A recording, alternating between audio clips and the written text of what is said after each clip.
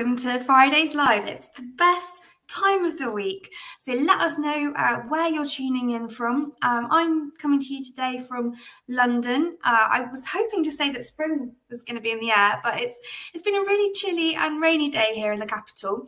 Um, so let us know where you're tuning in from, how you're doing today. And we've got the wonderful Ellie in the comments, so do say hello uh, to Ellie. And yeah, we've got a bit of a packed agenda for you today. As ever, we've got our new records of the week, and going to be taking a little look at tracing those illegitimate uh, Victorian ancestors. So we're going to be looking at some tips and tricks uh, for that. So, ooh, and also our question of the week, uh, which we'll come back to later. Um, so I was at the London Book Fair this week, which is a huge event in Kensington Olympia. Really wonderful. And it, it got me thinking about our question of the week. So that's going to be um, if your family history was turned into a book or film, what would the title be? So, if your family history was turned into a book or a film, what would its title be? I see some people tuning in here. Hello, Sarah from Wexford. We've got Beth tuning in from Cal uh, California. Hello, Victoria. We've got Marilyn from New Jersey. Shirley saying over on YouTube that it's lovely and sunny here in South Cambridgeshire. Shirley, send us your sunshine. We need your sunshine. And Gina tuning in from Lincolnshire. Hello, everybody. Welcome, welcome, welcome. Um, so let, let's dive in, shall we, and uh, have a look at uh, have a look what's been going on in the world of uh, new uh, records. am I am I am I in the fog? Maybe need to improve my lighting. Um, ah, we've got um, Liam's joining us, raining in Devon. Janet uh, over on YouTube, she's got she's got the sun. Okay, so new records. Let's let's have a look at these today. And uh, we've got uh, updated records uh, from the Diocese of Dublin this week, covering marriage licenses, uh, Dublin wills, and grants as well, as well as three brand new newspapers uh, from Guernsey and also from London, from London's east and from London's west. And a really fun fact this week, we've actually passed um, 67 million pages on our newspaper collection. So that's, that's an incredible landmark, um, eyeing up the 70 million next. So let's dive into these uh, new records of the week. Uh, we've got more joining. Hello, Sumoon over on YouTube. Uh, it's brightening up in Guildford. That, that's good to hear. We've got Heather from Edinburgh and Jean over in Preston with mixed weather. Yeah, it truly is. It's been proper April weather, sunshine and showers. Uh, but we'd just like a little bit more spring in the air. So let, us dive into our uh, Diocese of Dublin marriage licenses. Now there are nearly 100,000 um, of these, and these they span the years 1638 to 1858, and they cover the counties of Dublin and Wicklow, large parts of County Kildare, as well as parts of counties Carlow and Laois. So County Laois uh, was known as uh, Queen's County. So what these records consist of, they're books that were published in the 1890s regarding these records that were made between 1638 and 1858. So, what these records are, they are an index. And what you'll see on the um, original image when, when you look at this collection, you'll see uh, page numbers and they link to the, back to the original records. These original records were sadly lost uh, during the fire at the Four Courts in 1922 when so much Irish genealogical material was destroyed. So, what can um, these records tell you? Uh, you will find the names and address of the bride and groom, and sometimes you even get occupations. Uh, you will find the, the year of the event and the nature of the event, um, various uh, variations on the marriage license theme. So, uh, allegations, license bonds, and uh, caveats. And we've got a shout out from Sumoon. Uh, good to see some Kildare records there. They are so sparse. Any any new any new Irish records, so useful. Um, so yeah, oh, and I included a little picture here of an Irish wedding um, from the illustrated uh, illustrated news. This is one of our wonderful Victorian titles. It looks like quite a jolly affair.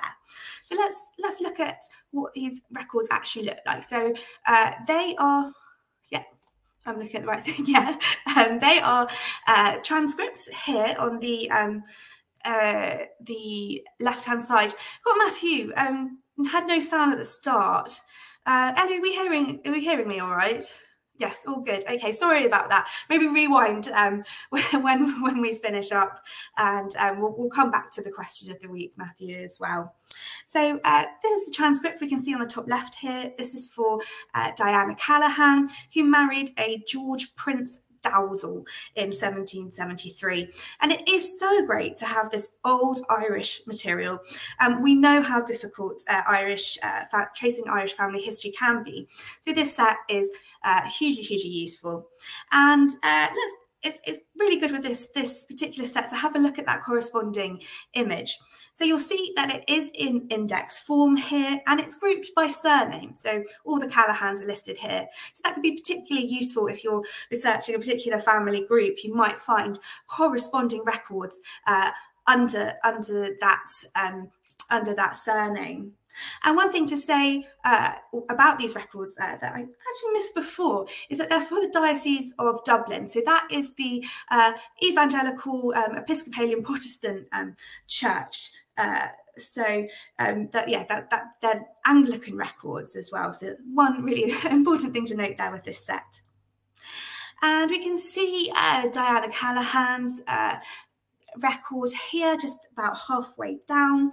And next to it, you'll see you'll see the year 1773 and the acronym um, ML. So ML, in this case, standing for marriage license. And you will also see that there are other acronyms on this image. So you've got W's, I's, OW's.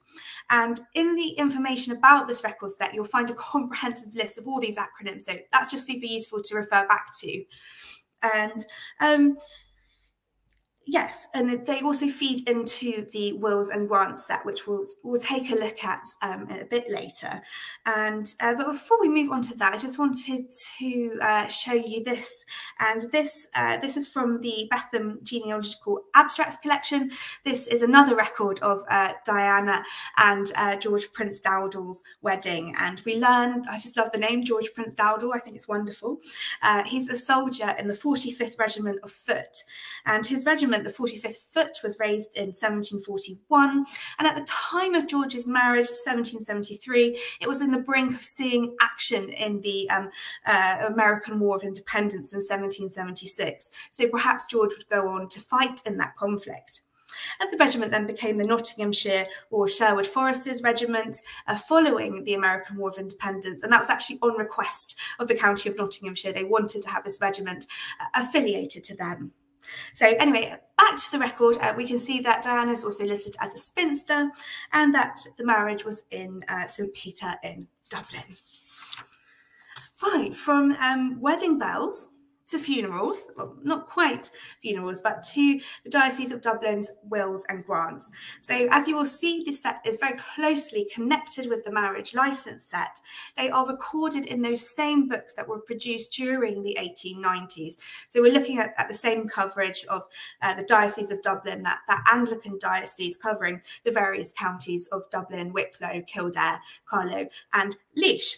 Uh, and there are older records in this set as well, uh, going back all the way to 1270, quite remarkable, with nearly uh, 35,000 names. And you'll get the first and last name, uh, the year of the will, and also sometimes an occupation. So again, you need to uh, take a look at the original image to see that the uh, the specific type of record to learn what that is. And again, this is where that acronym list comes in really handy. So you'll you'll see whether it's OW, that's original will, or W for the will, probate, or grant. Um, there's I for intestacy. And there's a few more. You get the gist of it, but there's that wonderful list of all those acronyms uh, for this set, which is which has been really super useful in in deciphering them. And so you'll see an example here of uh, the original record index, and you'll see um, some MLs, some marriage license mixed into the set as well. Um, and these ones, these I picked these out because they, they included some really historic ones. Uh, I'm looking, it's quite small, um, but you can see that we, are going back to sort of 1595, 1611 here. And there are two particularly um, old ones from, from the, that, those years uh, for the surname of Birmingham, and we've got a William Birmingham from 1595 and another William Birmingham from 1611.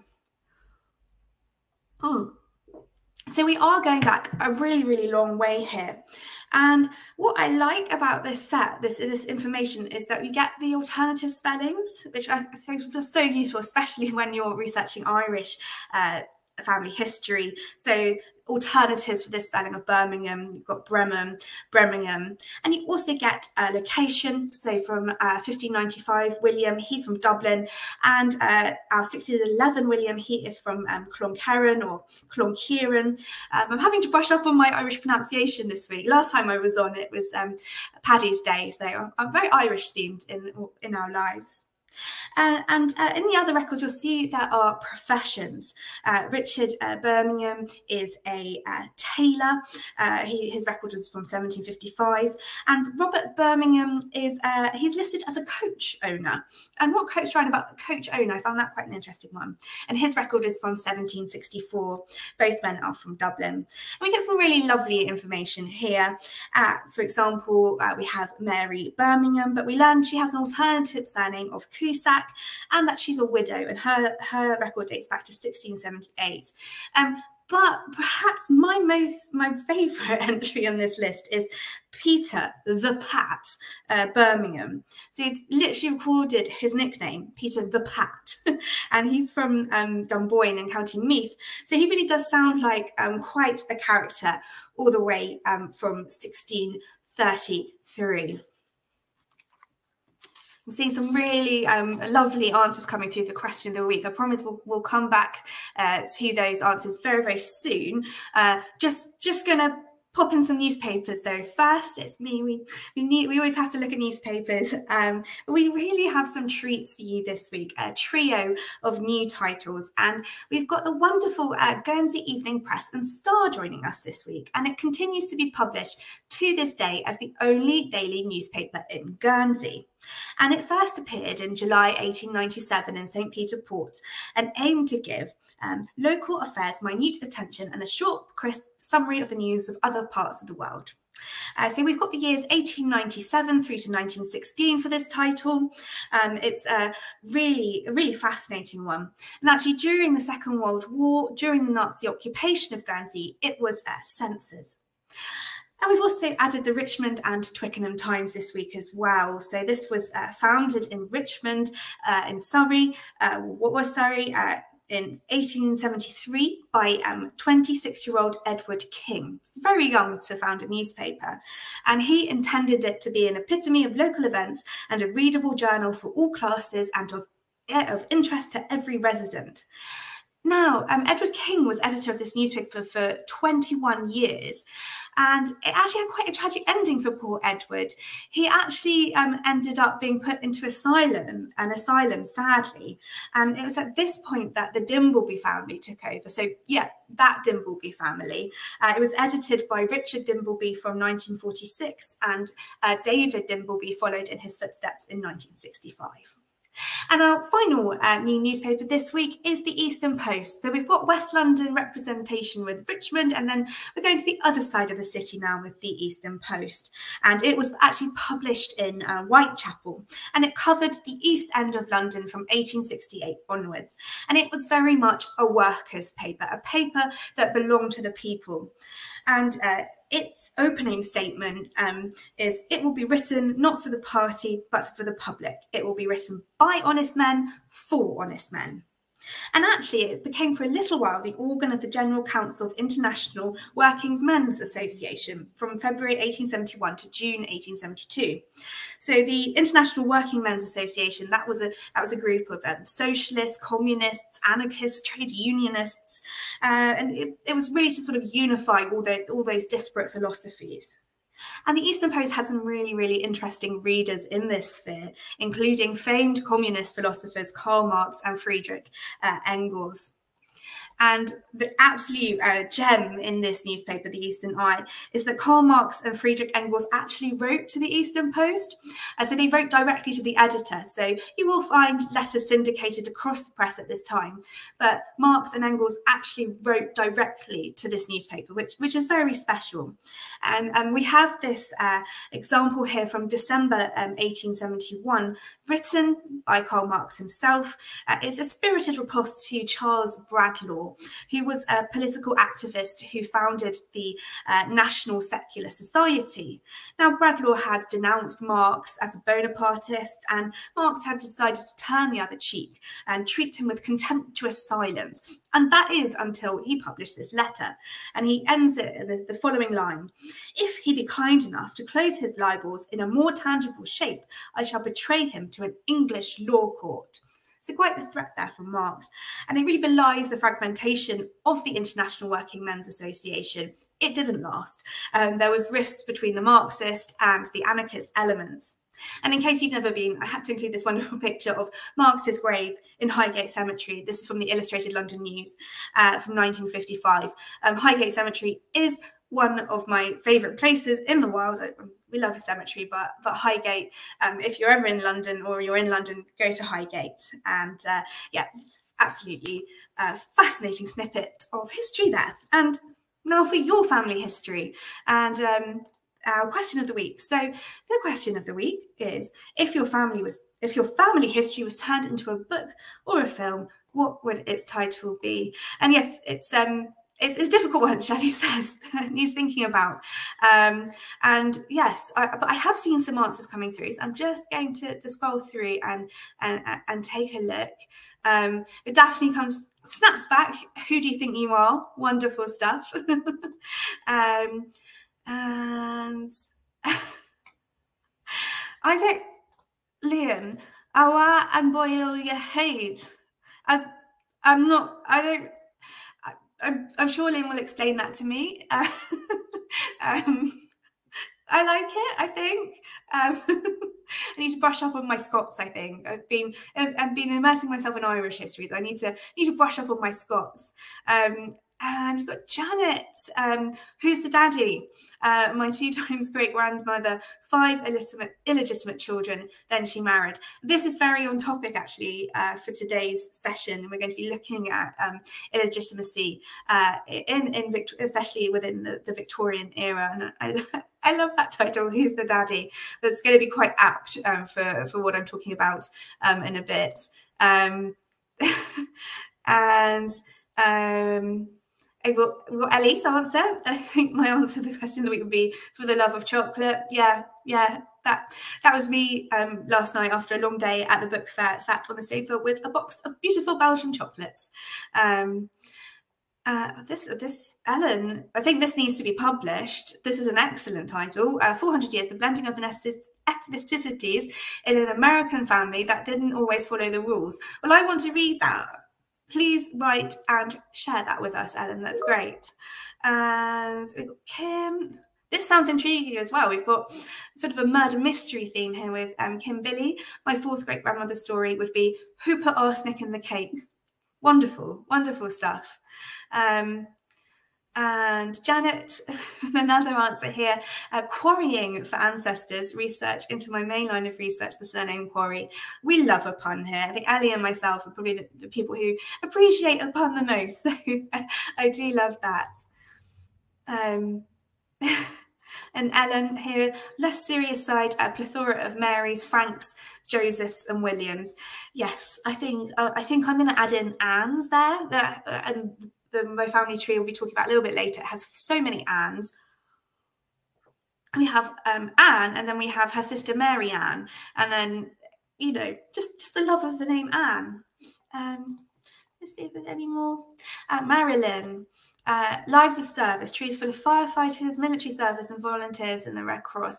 That's fantastic, and to have that, to have that sort of that uh, continuity across that those lives of service. And you often sort of find that in different parts of um, a tree finding those themes. I know with my my father's family tree um, one side there's a baptist minister and then found out fairly recently on the other side there's a methodist lay preacher. So um, ours would sort of be more we'd have a sort of more church uh, theme uh, there and this one I love from Sue Moon over on YouTube. Where are you lot hiding? Yes, yes, uh, especially especially after those those those, um, those brick walls. Um, this is good. Um, there's there's a lot of books that need to be written here. Uh, uh, with Victoria, Love and Heartbreak, Coincidence and Traits. I, lovely title. Um, some really good ones coming through. Um, Oh, Liam has clarified. Thank you, Liam. Uh, away and borrow your head. Get lost in Scotland, effectively. Okay. I love that. I'm going to borrow that. Okay. There's still more questions. Um, but yeah, head boiling in Scotland. I think uh, Liam owes us a session on that.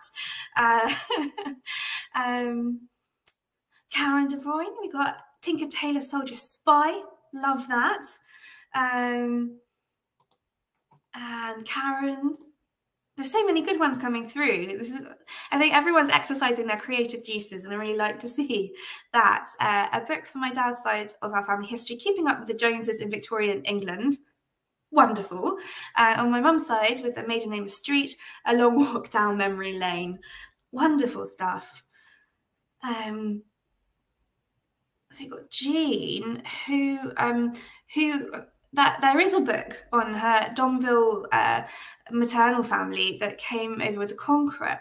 And so I know there's a breakaway to Ireland, so I'll be checking uh, that out. Ooh, very, very, uh, very, very interesting there. And so amazing to be traced, to go all the way back uh, to the Conqueror as well. Um, Liam, it sounds worse than it is, honestly. Okay, okay. We trust you. I trust you. Um, and uh, Matthew, um, Where Are the Greys or What's McDonald's? Wonderful stuff. Uh, or Matthew again, No More Smiths. yes, I think um, we were a few tuned in uh, to the session on Tuesday with uh, uh, Ellie and Jessamy from the National Archives discussing brick walls. Uh, the surname Smith uh, came up a bit in, and how difficult that can be with, with brick walls. But go, if, you, if you haven't already, do give that session a watch. There's some excellent uh, tips that are, I'm, I'm going to be trying out to, to break down um, some of my brick walls. Um, pickles, would you believe it? Absolutely. That's a good one too. Um, Janet, we, we've got. I know we've got some um, some dark horses in our family tree. Incorrigible, incorrigible rogue or career criminal. Um, so yeah, that's a great, great one. So yeah, keep them, keep them coming. Um, and I, I actually haven't thought about what mine would be yet. So I'll I'll, I'll get there. Um, and uh, let let's uh, let's move on um, to our next section. So this this perhaps could be the title of my book. I mean, it's not it's not especially catchy. Um, but this this is a theme within my tree is Victorian illegitimacy. Um, so yeah, as I said, my my my family tree is peppered with um, illegitimacies, uh, and and you know attitudes of course have changed hugely since Victorian times, um, but it was fairly common in Victorian times for a child uh, to be born outside of wedlock during this period, and um, just because it wasn't sort of approved of or the done thing at the time, what it doesn't mean is that it didn't happen. It happened a lot, um, but this can make tracing family trees that little bit harder to trace. Uh, so let's look, we're going to look at some tips and tricks for, for tracing those, um, those ancestors who were uh, illegitimate. And um, sometimes these illegitimacies, they are hidden and they are masked. So we need to work that little bit harder to decode those clues from the past. So I'm now going to step through um, discovering um, some illegitimate Victorian ancestors and just, yeah, having a look um, at uh, some ancestors born out of wedlock in this period. And I'm going to start with a, uh, a family photograph, actually. Um, and this is like this is one of my um, sort of treasured possessions, uh, and it, it shows a branch of my family, the Cooper family and they are photographed in their home at in Iver uh, in Buckinghamshire. So that's sort of it's just just sort of outside uh, uh, Windsor. And so they're shown in, in the 1890s, and there are four generations uh, sat, uh, shown here uh, from baby Harry Cooper um, all the way through to um, uh, Mariah Cooper. He's, he's, the, he's the old lady seated on, on, on the right hand side. And you can see some, some excellent um, question, answers coming through to question of the week. Got Karen, the, the good, the bad, and the dodgy. and there's a bit of a recurring theme here about uh, yeah fibbers, a lesson in how to lie through your teeth. Yes, I, I feel that might that resonates. Um, yes, in, in, in with many many of our ancestors, not known for telling the truth. Um, so I guess, the, and this is a theme that could, come into uh, this this family group here, and the three of these, uh, oh, four of these people actually are my direct ancestors. Um, the lady on the top right there is my great great grandmother, and there is a really uh, strong resemblance actually to my mum, uh, which is it's so striking, uh, given given the uh, the gap the gap in um, gap in time. And uh, my great great great grandfather henry is holding uh, the dog there very cute. And next to him great great great grandmother uh, and Elizabeth. And um, it's been a real privilege um, to be able to explore their stories a little further. And uh, for this story, we're just gonna we're gonna focus on Anne um, here. So Anne is the lady um, holding the holding the little baby there, and uh, she she says she's my my my three times uh, great grandmother. Yes, she does. My the um thank you pickles. my um my my two times great grandmother. She she has this poise. She has a real elegance, um, which is um yeah, it's quite striking. Um, and um so yeah, I think I think in later life, from what I've heard, she sort of turned into looking a bit more like this lady here. Um, but bless them. Okay, so this is Anne, and this is Anne Cooper, and uh, we see in the 1911 census that she um, uh, was born in Iver in Buckinghamshire, so that's where she was living with her husband uh, Henry, and she's 63 at the time of the 1911 census, so and she's two years older than her husband. So we can estimate that she was born in 1848, uh, which makes her in her in her late 40s or early 50s at the time um, of this photograph. And so they just sort of look a bit older than you were back then, uh, and we can see from uh, our marriage registrations that Henry Cooper married Anne Weedon in 1872 and the district is Eton, where they were married. Uh, so Eton is, is very near to Iver.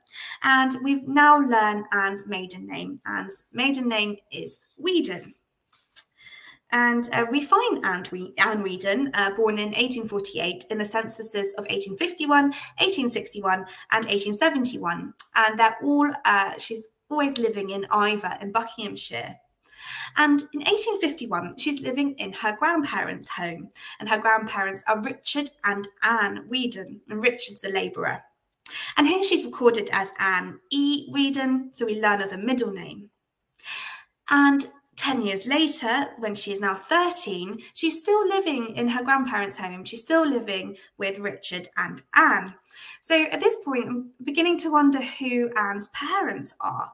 Um, so she's got an aunt living with her, Eliza, uh, in both the 1851 and 1861 censuses. But Eliza's only eight years older, so that's that's going to rule her out as being Anne's mother. Uh, and there's another aunt uh, or potential mother listed in the 1851 census. That's Hannah, and she's uh, she's 22 in the 1851 census to um, and and three years old. So, so that could be possible. And again, we don't really get much information from the 1871 census. Uh, age 23, Anne is working as a nurse. So she's moved out of um, the family home and she's working for a man called Richard Belcher. Uh, so this is a year before she married. So the censuses aren't really giving us much help here in indicating her her parents. So at this point in time, we know we know a few things about Anne. Um, we know where and when she was born, uh, where and when and who she married, and where she was living in several decades. But what we don't know is the name of her parents, and uh, also what, the E stands for. Um, so her birth record fills in some of these gaps. Uh, we learn that her full name is Anne Elizabeth Weedon, and it is spelled slightly differently here. Um, it's traditionally spelled D-O-N, but it's spelled D-E-N here. So further levels of difficulty. Uh, and we learn that she was born in, uh, in Q4 of 1848. But you'll note that her mother's maiden name isn't listed and it's not in the original document. So this usually signals that uh, the, the, surname of the, the child is the same as the mother's surname. So it indicates here that Anne has been born outside of wedlock. um, or in, indeed the maiden name is given and it's the same as the child, uh, this would indicate, again, illegitimacy. So it then became a bit difficult when I stumbled across uh, this baptism record. Um, and this is for an Anne Elizabeth Weedon, who was baptised in Cowley on the 22nd of October 1848. And she was the daughter of, uh, of Robert, a labourer, and Mary. Um, so Cowley, Google, this is where Google Maps is always always a friend. And to look it up, uh, it's, it's very close to Iver, uh, where we know Anne was born and where she grew up. And indeed, this baptism record even gives the residence as Iver. So now I'm about as sure as I possibly can be that this record relates to Anne Elizabeth. So I have the name of her parents, uh, Robert and Mary. Um, and, but things in this case, they're not that simple. And indeed, when are they ever? and that is that is always part of the fun um, solving these kinds of mysteries because there is no record of a marriage that I could find between Robert and Mary. So no marriage between a Robert Weedon and uh, a lady named Mary, or indeed the other way around, no Mary Weedon's marrying a Robert. Um, so nothing was really fitting. So where did I head? Newspapers. And uh, using our wonderful newspaper collection, um, searching for Mary Weedon in 1848 turned up a prodigious amount of results. And there were many of them. And this is this is always what I find so fascinating about our newspaper collection that Mary Weedon in 1848 isn't really anybody of note. Um, you know, she she is a, a simple um, countrywoman, and yet there are lots of mentions of her in our newspapers. And and why why is this? Well, it's all centres around her daughter, Anne Elizabeth. So we're just going to just going to dive in. Um, our journey through these newspapers pages starts on the left uh, with a uh, an article from the Bucks Herald, which was published on the 25th of November 1848. And what it details is the police sessions that were held at um, the Crooked Billet, which is a pub, wonderful name, um, in Iver Heath. And this is where Mary Weedon pops up for the very first time. And uh, the relevant entry reads, um, on the complaint of Mary Weedon of the parish of Iver, an order of affiliation was made on Robert Edwards, under which he was required to pay two shillings per week towards the maintenance of the illegitimate child of the complainant, and one pound, twelve shillings, and sixpence costs of applications. Mr. Gardner attended for the defendant. So, what is happening here is that Mary is getting Robert Edwards to essentially pay child support for her illegitimate child, Anne. So here in black and white, is Anne's status is as illegitimate. And we're going to look at this a little bit later on, um, but there were specific changes to the poor law in 1844 that meant, whereas before the board of guardians had to initiate a hearing at the petty sessions to determine the identity of a child's father and then make him pay towards the child's upkeep. In 1844, this changed so that the woman or the mother of the child could initiate her the proceedings herself. So this is exactly what Mary is doing here. She is taking that initiative. She is taking Robert Edwards before before authorities and making him pay towards the upkeep of their child. So Mary's quite a, a pioneer here, but all didn't go to plan for Mary. So we get we get a sense a couple of months later that things aren't quite going to plan. Uh, again, we're at the Crooked Billet in the, in the on the third of February 1849 with a report in the Bucks Herald, uh, and really one thing to note with these cases, these, these paternity cases, that they were reported on extensively, as I found in the case of Mary. So even if if you have an ancestor like Mary, who's you know, you know, limited means, um, uh, fairly ordinary, it's likely that such a case would be reported on in the local press. Um, so it's likely that you'll be able to find uh, corresponding newspaper reports. So the next we read about Mary is um, in February 1849, and the defendant, uh, the alleged husband, Robert, uh, sorry, the alleged father rather, Robert Edwards, was brought up on a warrant because he hadn't paid his maintenance money. And Mr. Gardner, he becomes a key figure, the lawyer, uh, Robert Edwards' lawyer, has the case adjourned. And um, he, he is a key player in all of this. So we, we get a bit more detail in the Windsor and Eton Express. So this is the Windsor and Eton Express is on, on, on the right hand side here. And there was so much in this article. It, I've had to condense it. It was extremely long and it was filled with all sorts of legal jargon, which does make it quite hard to follow.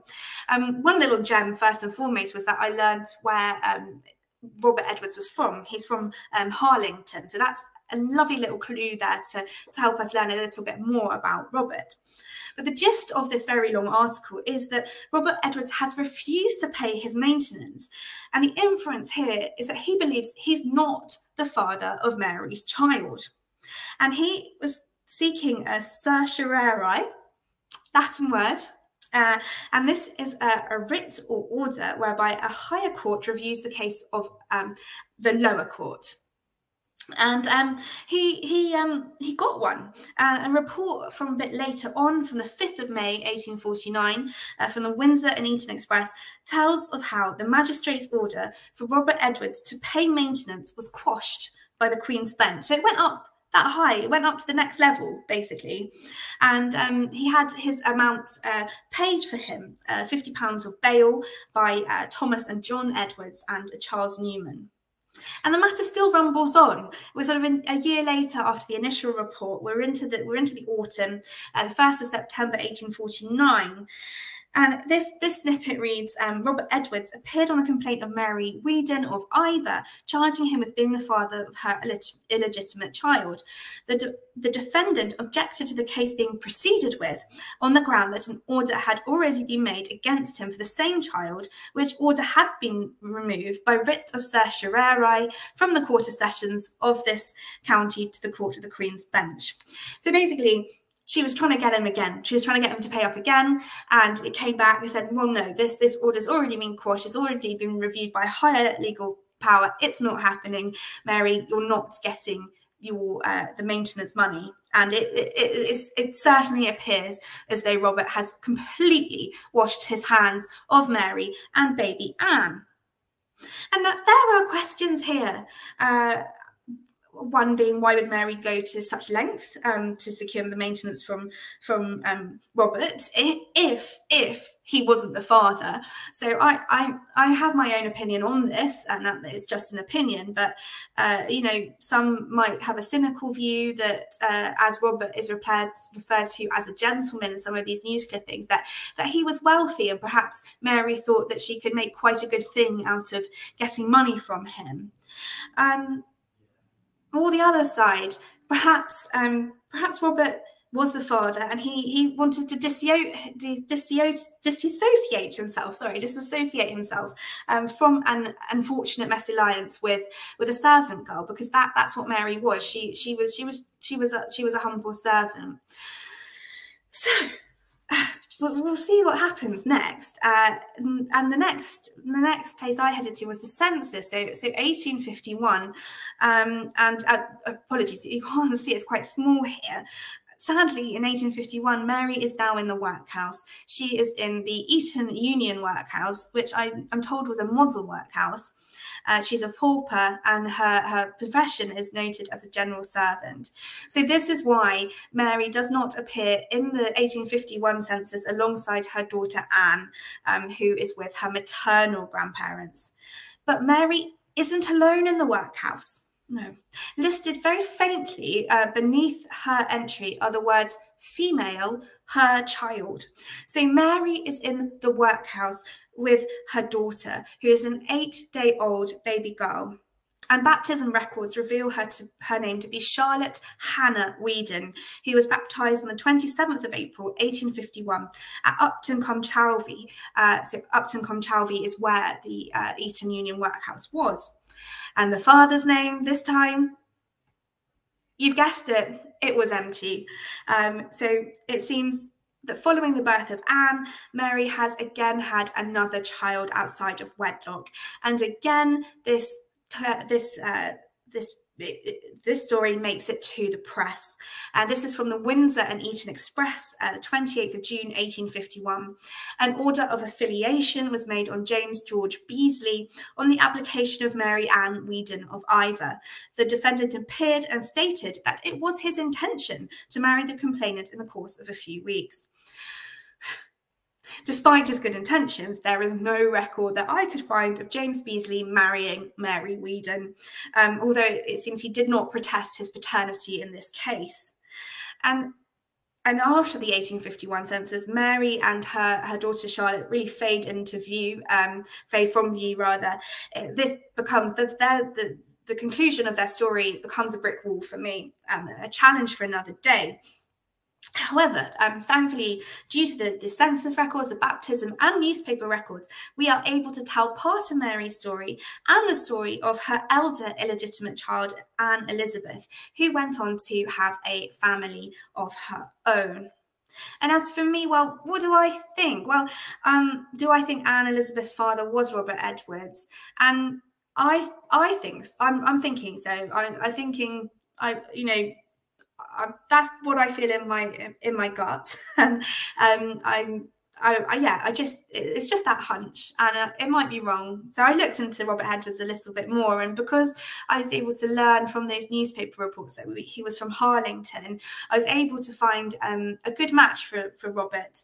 Um, I found uh, a Robert Edwards of Harlington in the 1841 census, and listed are his two brothers, Thomas and John. And if you remember that newspaper report, um, uh, Thomas and John Edwards paid his bail.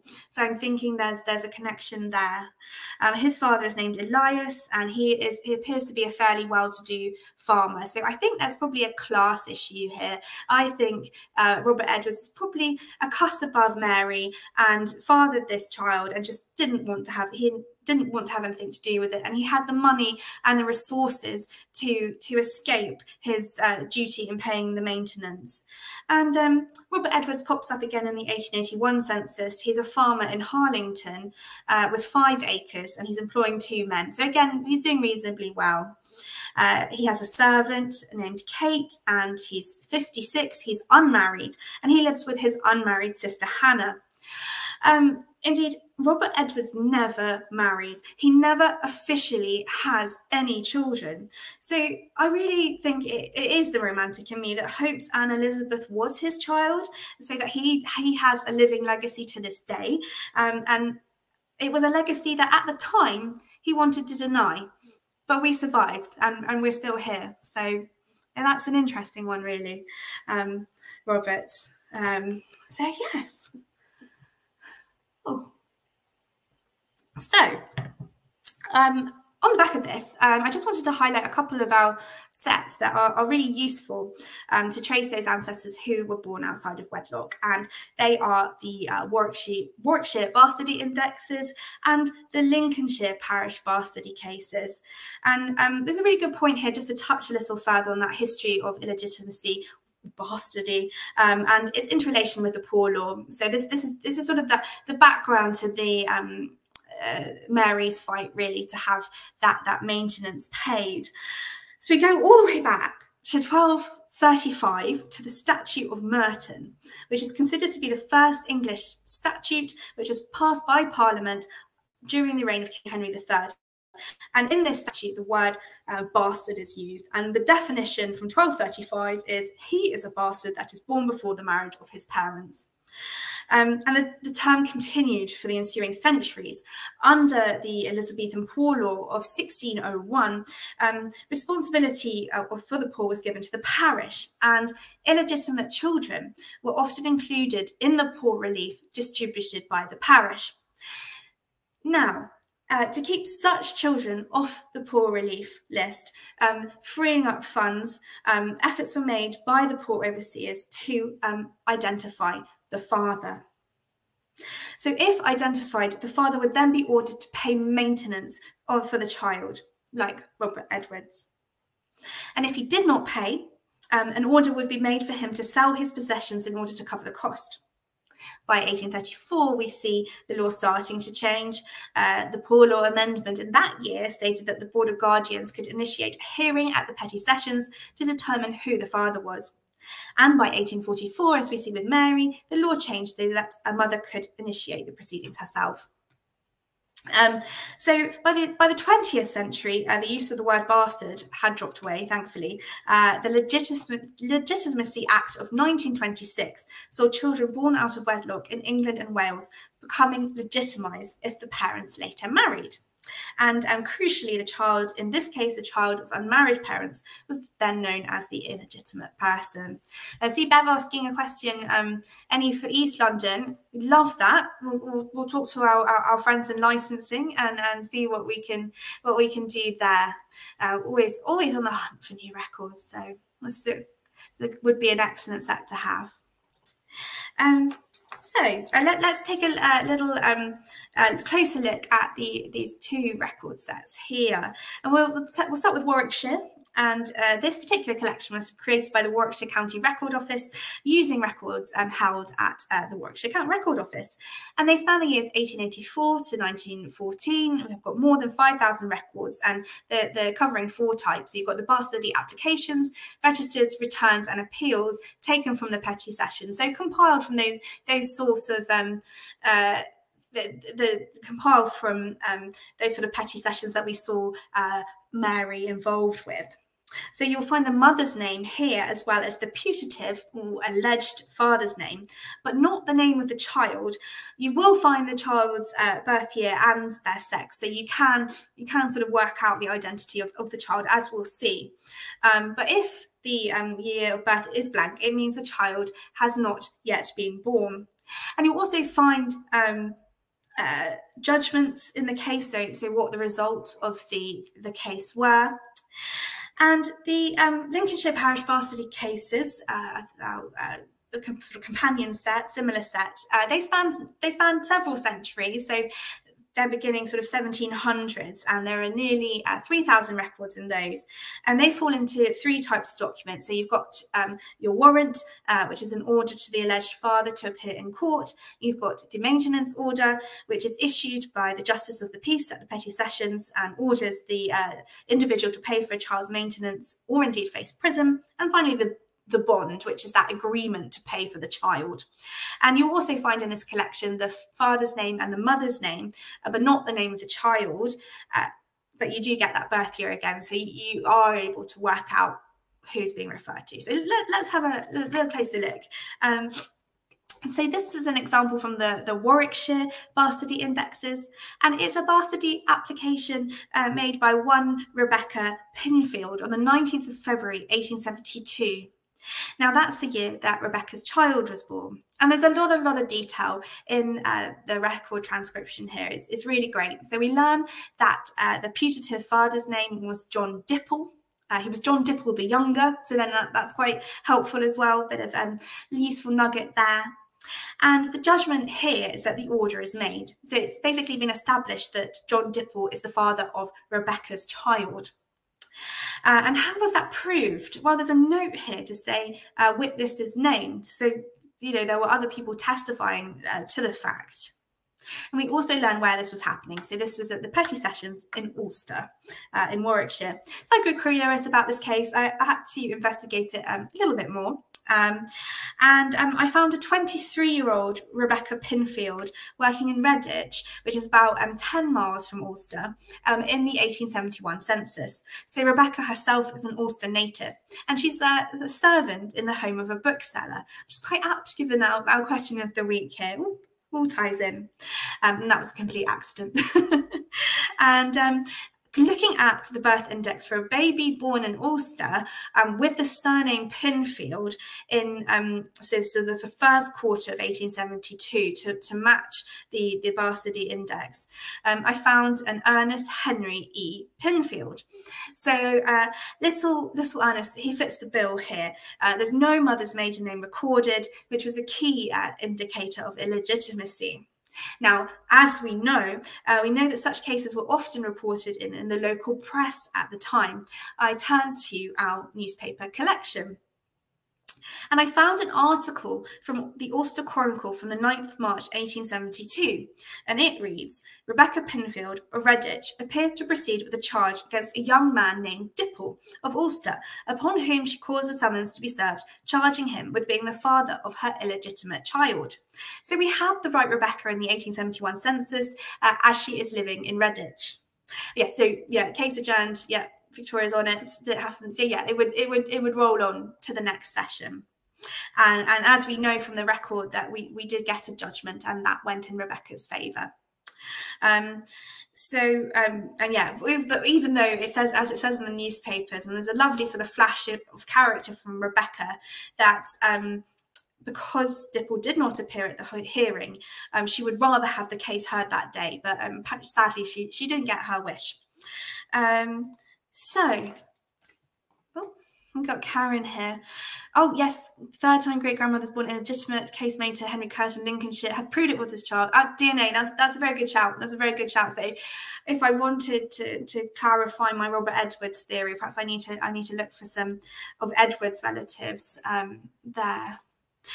So, uh, this was a really sad story, actually. Um, little baby Alice was only um, he didn't he didn't live for very long so he he um he passed away in late 1872 bless his heart and um i just found this quite moving as if i hadn't really stumbled across uh, rebecca's record that you know he's he might have been lost to time but we have his record and um i, I find i find that quite profound um and as for Rebecca, well, she she died 10 years later in 1881. She was only 33.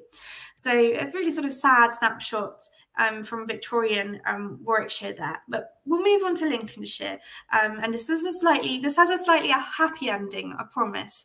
And we'll end on we'll end on a high.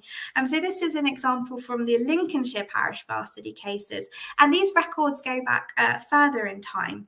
And this is an example of a transcription from 1795, and it's a bastardry warrant raised by a single woman, Frances Langston, in Spittlegate, uh, which is a parish in Grantham. Now this was raised on the 3rd of July 1795 against Nathaniel Wilson, who was a papermaker. And their child, it says, was born in 1795.